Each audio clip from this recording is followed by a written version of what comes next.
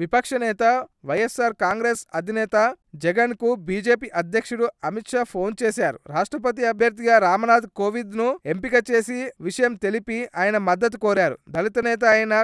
కి పూర్తి మద్దతు ఇస్తానని ఈ సందర్భంగా జగన్ హామీ ఇచ్చారు ఇప్పటికే ప్రధాని నరేంద్ర మోడీ కలిసిన సందర్భంలో కూడా జగన్ తన మద్దతు ఎన్డీఏ ప్రభుత్వానికేనని చెప్పిన సంగతి తెలిసిందే కాగా తెలంగాణ ముఖ్యమంత్రి కేసీఆర్ కి ప్రధాని మోదీ ఫోన్ చేసి మద్దతు కోరగా ఆయన అందుకు అంగీకరించారని మంత్రి కేటీఆర్ చెప్పారు కోవిద్ ఎంపికకు స్వాగతిస్తున్నామని టీఆర్ఎస్ ఎంపీ కవిత కూడా అన్నారు